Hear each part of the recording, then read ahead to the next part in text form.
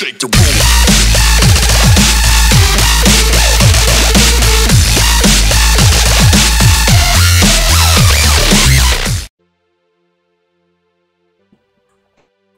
let's go.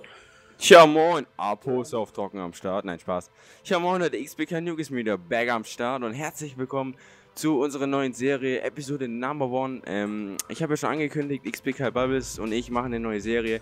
Ähm, wir werden heute über den Apokalypto Red reden und ja, Bubbles ist auch dabei. Was geht YouTube? Mein Name lautet XBK Babbitz und willkommen zu der neuen Serie, wie Nuke schon angekündigt hat. Das ist Part 1, beziehungsweise ähm, der Teil 1 von den Teilen, die wir jetzt machen werden für einen YouTuber. Apocalypse Red ist heute dran und dann gebe ich das Wort mal wieder weiter an Nuke. Ja, ähm, wir machen die Episoden jeweils mit Facecam, also ich weiß nicht, ich werde wahrscheinlich meine Facecam rechts sein und Bubbles seine links, also damit ihr beide Facecam haben. Und ja, Ja. wir werden heute über Apocalypse Red reden. Ähm, also wir fangen erstmal mit den positiven Sachen an. Also der Ja, Apocalypse würde ich auch sagen. ja, der Apocalypse Red ähm, ist meiner Meinung nach ein sehr ehrlicher Typ. Also, keine Ahnung, er redet immer ehrlich. Also, er sagt nie Lügen oder ähm, er ist keine Fame-Hure oder. Dem seine Videos sind all- allgemein immer sehr, sehr gut. Also zum Beispiel Beat Abos finde ich sehr geil. Ähm, was gibt's noch? Ähm, ApoRed beim Chatroulette oder so. Also er macht sehr, sehr viel auf YouTube. Also er macht nicht nur COD-Gameplays, äh, COD-Commentaries, so.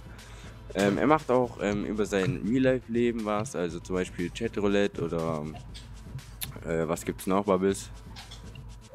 Ähm, was gibt's noch? Er macht ja, hat ja auch ein Gewinnspiel gemacht, was ich eigentlich auch ganz gut fand, da mit diesem kleinen, ich weiß gar nicht, was es war, ich glaube, Commentary Contest, ne? Das fand ich auch ziemlich gut. Oder ähm, halt dieses Movement, was er auch hat. Also es ist echt gigantisch, wenn er wirklich mit keinem Scuff-Controller spielt. Äh, auf jeden Fall mega geil von ihm. Und ich finde auch wirklich, dass er ein ehrlicher Mensch ist, dass er wirklich seine Meinung sagt. Und seine Art gefällt mir eigentlich auch, was er auch immer empfiehlt halt für Sachen in Videos oder halt er hat einen hohen Gameplay-Standard, was ich auch ziemlich gut finde. Weil es gibt ja wirklich viele YouTuber, die zum Beispiel vielleicht ein, zwei Videos im Monat bringen, was ich dann nicht so interessant finde. Genauso wie manch anderer YouTuber macht er das auch ziemlich gut, dass ähm, halt er feste Tage für diese ähm, Commentaries hat. Ja, du meinst damit, ähm, er hat die geregelten Uploadbahn. Genau. Ja, also ähm, muss man ja auch haben, wenn man 100.000 Abonnenten ähm, hat. Also Opred, wenn du dieses Video hier siehst, was ich wahrscheinlich nicht glaube, ähm, dann nochmal herzlichen Glückwunsch an deine 100.000 Abonnenten. Also du hast es echt verdient. Ähm, Ja, von mir auch, auf jeden Fall. Du bist, ich weiß nicht, Apocalypse Red ist einfach der, der meistgesehene oder meisthöchste YouTuber in der deutschen Community bis jetzt. Also Marcel Scorpion natürlich auch.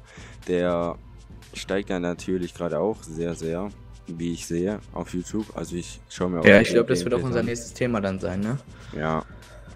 Aber heute geht es um Apocalypse Red und zwar. ähm, Genau. Ja, wir haben jetzt ein paar positive Sachen gesagt. Oder willst du noch was sagen? Nee, das war's eigentlich sonst von mir soweit, ja. Ähm, ja, jetzt, jetzt kommen wir einmal zu den negativen Sachen. Und zwar, ich, ich, ich habe die ganze Zeit überlegt, aber es gibt fast gar keinen äh, negativen Punkt, ähm, was Apocalypse Red anbetrifft. Also, Einen Punkt habe ich aber, der ist mir gerade nämlich eingefallen.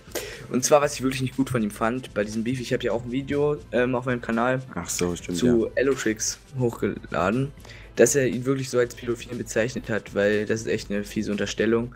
Und das war vielleicht jetzt die eine Sache, die ich mal nicht gut fand von ihm, aber sonst habe ich eigentlich auch nichts weiter zu bemängeln an ihm. Ja, das, das fand ich natürlich auch sehr, sehr ähm, schlecht von ihm, ihn als Pädophilen bezeich äh, zu bezeichnen, weil ich finde, Apocalypse, ähm, also das Thema reden wir über ein anderes, also es werden noch viele äh, YouTuber kommen, über den wir, über den wir reden. Und ja ich, Ja. ich, ich fand das auch nicht toll von ihm, dass er ihn so als Pädophil bezeichnet hat. Ich, ähm, ich finde allgemein, der Beef auf YouTube ähm, muss nicht sein. Also YouTube ist ein YouTube ist eine Internetseite, da wo Leute Commentaries machen und so. Die Leute wollen euch unterhalten und jetzt und dann kam in letzter Zeit, was weiß ich, drei, vier Videos über den Beef zwischen Apocalypto Royale und Elotrix. Also ich meiner Meinung nach könnt ihr es auch privat regeln. Also ihr müsst nicht äh, unbedingt ein Video darüber machen und den gegenseitig fertig zu machen, sondern ihr könnt es auch privat, privat regeln. Und ja, das ist meine Meinung über Apocalypto Red. Ja, zu dem Punkt wollte ich auch noch was sagen. Privat ist eigentlich, hätte ich auch gemacht, aber ich weiß nicht, ob das dann eventuell doch nach hinten losgegangen wäre, wenn die das nicht, die haben sich ja wahrscheinlich beschlossen, das ähm, öffentlich zu machen, weil wäre das privat gegangen, hätten, hätte es glaube ich so angefangen, dass ein YouTuber von denen, die halt dabei waren, das veröffentlicht und dann wäre es glaube ich noch eine größere Eskalation und vielleicht war es ja wirklich besser so, dass sie es öffentlich gemacht haben, dass es ein offenes Thema ist und dass es dann auch vom Tisch ist, weil jetzt hat sich das glaube ich auch schon wieder ein bisschen gelegt, oder? Ja, also ähm, Apocalypse Red hatte ja ein, ähm, ein letztes Video über ihn gemacht. Ähm, da wo er auch wirklich, also ich gebe Apocalypse Red zu 100% ähm, recht. Also was ich, ich habe mir das Video angeschaut, wo er, wo er ähm, die Audiospuren so von Electrix ähm, mit reingezogen hat. Also Ja, das habe ich mir auch angeguckt. Also, das fand ich echt nicht in Ordnung. Also, Ah, im Video, im Video sagt Elotrix, ja, ähm, sie war nie bei mir privat und so und, und dann in der Audio siehst du auf einmal oder hörst du auf einmal, ähm, ja, sie war ab und zu mal bei mir und dann dachte ich mir so, what? Warum lügt er seine Abonnenten an? Warum? ja. Also das verstehe ich einfach nicht, aber wir werden auch noch über Electrix reden, also heute geht es nur um Apocalypse Red. Also ich würde sagen, die positiven Punkte ähm, und die negativen Punkte haben wir jetzt gesagt, meiner Meinung nach. Und Ja. ich weiß nicht, ob, ob du noch was dazu sagen hast? Ja, ich denke, willst. jeder von uns sollte nochmal ein Fazit über ihn abgeben. Ich glaube, ich fange damit jetzt erstmal an. Und zwar, ähm, mein Fazit über Apocalypto Red ist auf jeden Fall, wie du schon gesagt hast, dass er auf jeden Fall ein ehrlicher YouTuber ist. Ja. Und ich finde, dass er die Community auf jeden Fall nicht zerstört oder so, wie manche meinen. Ich finde auf jeden Fall, er passt voll in die Community. Ich glaube, ohne ihn würden manche Leute einfach nur noch in der Ecke hocken bei COD ja, und einfach nicht das Rushen oder das Movement so.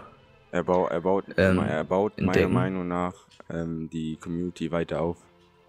Genau. Ja, das war dein Fazit. Mein Fazit ist, ähm, Apocalypse Red ist ein sehr, sehr ehrlicher Mensch. Er ist sehr, sehr korrekt, auch wenn ich ihn jetzt nicht real life kenne und ähm, so.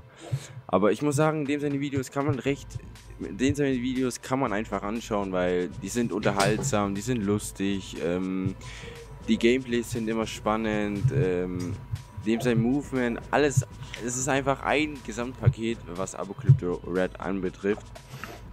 Nur der Punkt halt ähm, mit dem Video wegen Elotrix und so finde ich halt nicht so korrekt. Aber sonst, Apocalypse Red finde ich sehr, sehr sympathisch und ja, das, mein, das war mein Fazit über Apocalypse Red.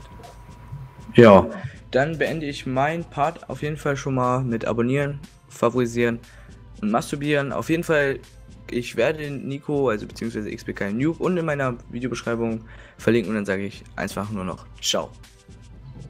Ja, das war's auch von mir. Ähm, ich werde Bubbles ganz oben, oder was heißt, ich werde sie, ich werde Bubbles auf jeden Fall in der Videobeschreibung äh, verlinken. Er ist jetzt auf immer in jedem Video verlinkt, egal ob ich jetzt mit ihm die, ähm, die Serie mache oder nicht. Ähm, dann sage ich nur noch, lasst eine positive Bewertung haben, wenn ihr mehr sehen wollt von der Serie, wie wir über YouTuber reden. Ähm, und ja, abonnieren nicht vergessen, favorisieren nicht vergessen. Und dann sage ich nur noch, haut rein, tschö, mit Ö.